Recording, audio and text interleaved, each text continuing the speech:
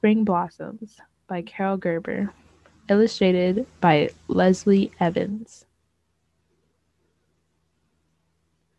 Spring Blossoms.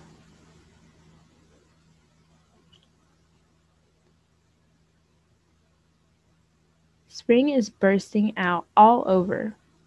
The sun is up. It's warm. Let's go.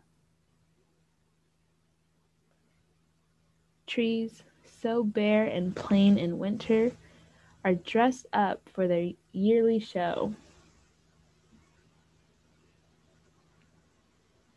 Look at all the buds and blossoms.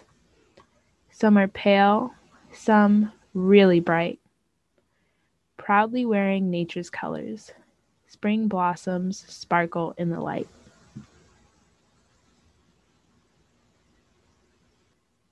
White dogwood wears a frosty crown. Its limbs spread wider than its height.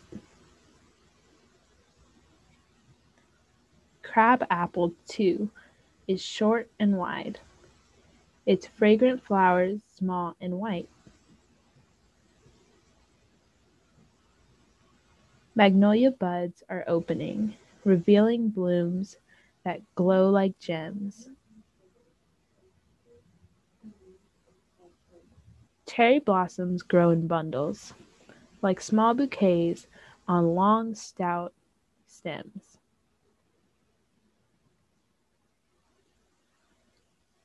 The white oak bears two kinds of blooms. Male flowers droop their greenish gold. The female blooms are small and red.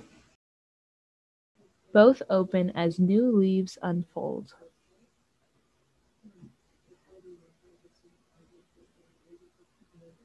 On the beech, male flowers cluster.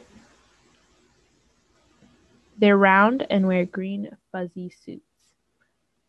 Female flowers, small and spiky, grow near the leaves along new shoots.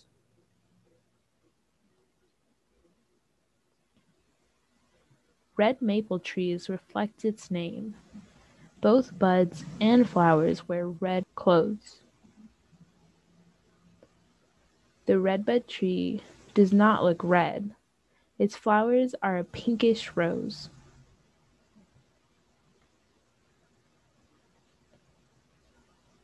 White pines' male flowers, small and yellow, grow in clusters near branch tips. Female flowers bloom weeks later. They're tinged with red like slender lips.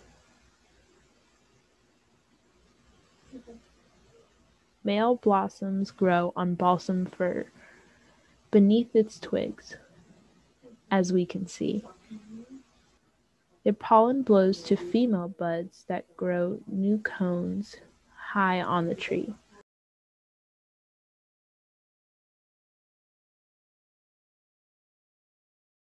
Suddenly, the trees bent toward us. A warm spring rain begins to fall.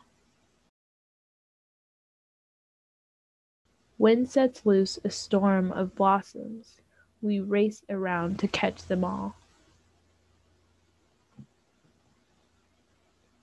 The end.